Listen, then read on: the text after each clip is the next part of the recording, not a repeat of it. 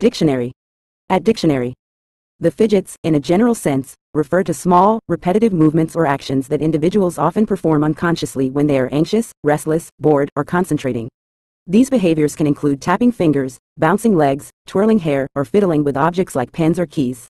Fidgeting is a natural response to various internal states and can serve as a coping mechanism to release nervous energy, maintain focus, or self-soothe.